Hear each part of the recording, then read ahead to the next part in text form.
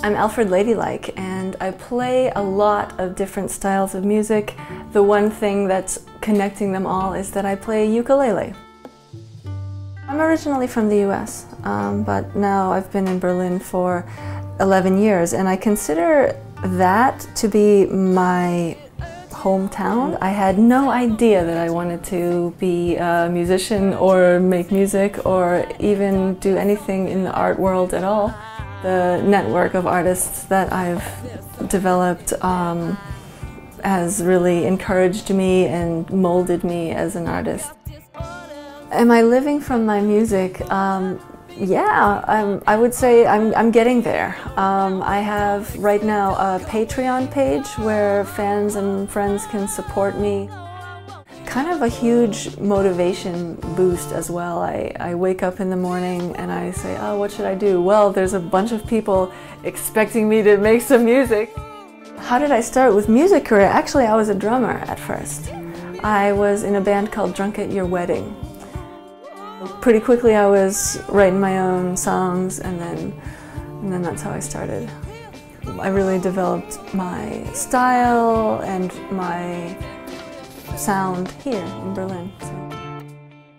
Um, I love going to live gigs. I really um, love jazz in particular and there's a couple of local jazz bands and groups that I go to see over and over again. I'm inspired by Amanda Palmer very much and I had the fortune, great, awesome fortune to be on tour with her last year. Alfred Ladylike is, uh, is a bit of a character. It's a bit um, hyper real. I'm not wearing a mask, but I am uh, exaggerating and accentuating my features just to create an image that's uh, a little bit of a fantasy. The fact that the name is also different and weird is just kind of, I think, fitting. And I like the eyebrow raising effect.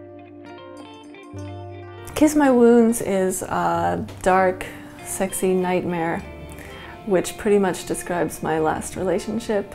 It's not a space adventure song, which a lot of my stuff is. I, my, I don't know, I think my music is really, I've, it's different. My Adventure Time EP is the thing that's really on my mind lately. And did I mention that? I got an arsenal of wizard tools, the finest licks and all. Oh, ooh, I bet you wish you was a wizard too. Keep it tight because these magical skills don't pay the physical bill. So I'll be translating chapters of the Enchiridion, charged by the word, and I heard it's pretty long website from the Magic Association. Help them out with search engine optimization and wrangle up the trolls on the wizard forum to ensure that they demonstrate the proper decorum. What kind of decorum is that? I don't know. I haven't figured it out yet. yeah.